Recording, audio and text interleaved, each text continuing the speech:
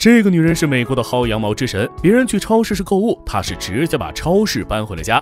购买的上万件商品，不但全部实现零元购，甚至还让超市倒欠她钱。凭借着出神入化的薅羊毛大法，她一年就能节省六万美元，折合人民币四十一万。女人名叫米西，时年三十七岁，是佛罗里达州的一名家庭主妇。她最大的爱好就是收集各种优惠券，然后去购物。美国的优惠券不需要凑满减，还能叠加使用，因此只要数量够多，不用枪也能轻松实现零元购。米西的座右铭是：只要东西是免费的，那我就一定要带走，不管有没有用。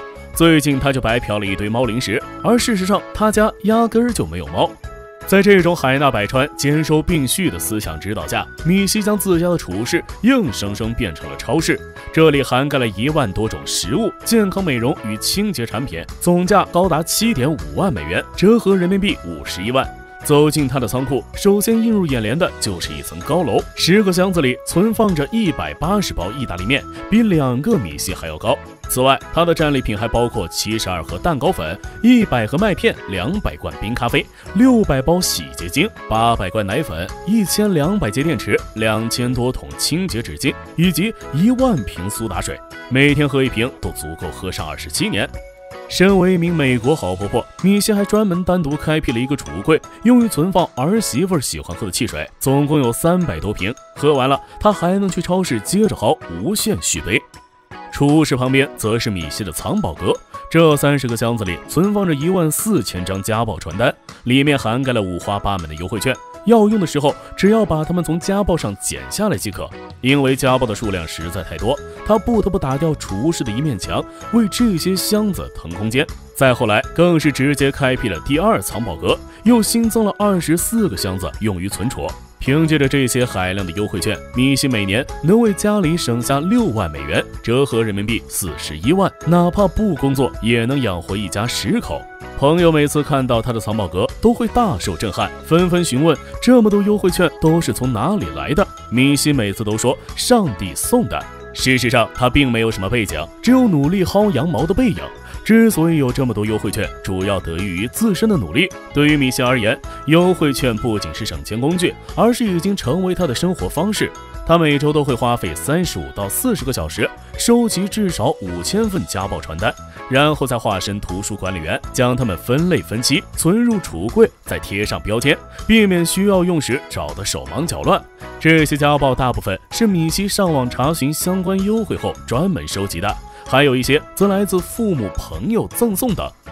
对于米西而言，每次去超市都好比上战场，一定会做好万全的准备。出发前，他会了解附近超市的优惠活动，列下需要采购的清单，然后再从藏宝阁里挑出需要的优惠券，和儿媳闺蜜一起组成一条生产线，挨个从家暴传单里面检出。为了防止出现超市库存不足的情况，购物前他还会提前让超市备足库存。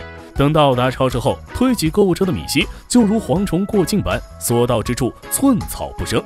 一瓶止痛药原价五点三美元，使用优惠券后，超市反而倒欠了他五十美分。米西一口气买了一百一十四瓶。洗衣液原价一瓶要六点五美元，用了优惠券后，两瓶只花了四十美分。米西直接买了五十四瓶。到了结账的时候，就像来到工厂的流水线，看到这阵仗，收银小妹被惊得目瞪口呆。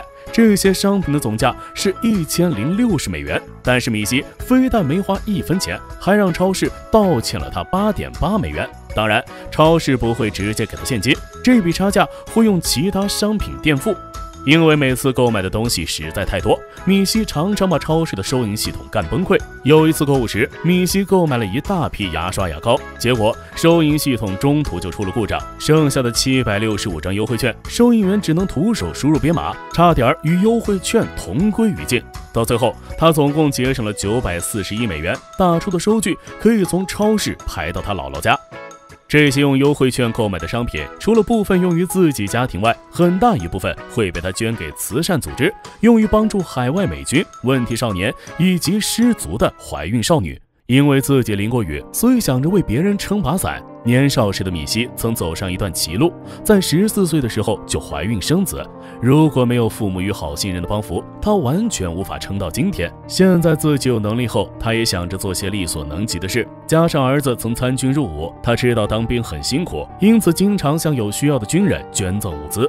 他每次采购物资前都会统计军人喜欢的东西，从不勉强他们接受自己的物资。一般情况下，不能使用优惠券的商品，他从来不买。但如果是慈善机构要求，他也会破例购买。有次，因为一些失足少女想喝新鲜的牛奶，米西就直接慷慨地购买了五大桶，破天荒的没有节省一分钱。